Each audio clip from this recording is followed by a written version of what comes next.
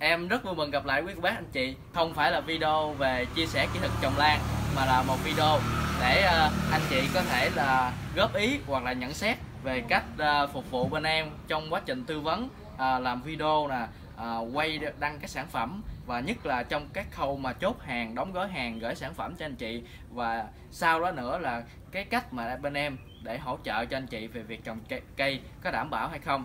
Thì uh, trong video lần này em xin uh, mượn không gian và thời gian của anh chị chút xíu để anh chị có thể bày tỏ à, một số cái à, vấn đề bên em đang không làm được anh chưa à, và làm gây khó chịu cho anh chị trong quá trình bán hàng thì anh chị có thể một cái thứ nhất rất đơn giản anh chị có thể là bình luận ở dưới cái video này anh chưa hai nữa là anh chị có thể là uh, có cái đường link em đưa ở dưới á ở, ở dưới em ghim lên cái phần mà à, bình luận dưới cái này anh chị chỉ cần kéo xuống phần bình luận là anh chị thấy cái đường link đó. Thì anh chị chỉ cần bấm vào và anh chị cứ chia sẻ những cảm nghĩ của anh chị khi đặt hàng bên em. Và điều gì để cho anh chị phiền lòng nhất thì anh chị cứ cần bấm dọc vào cái link này anh nha.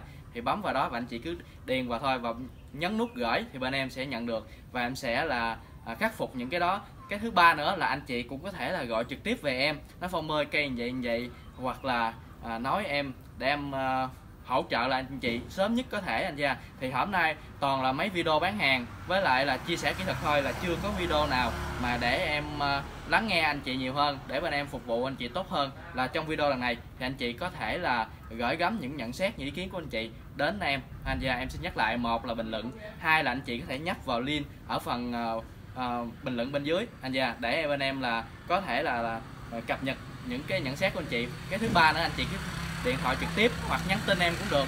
Về số điện thoại là 0938 28 7972 anh chị ạ.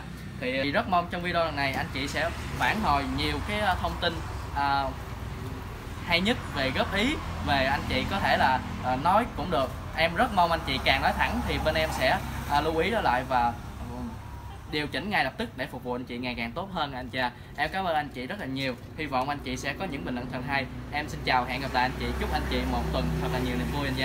chào, hẹn gặp lại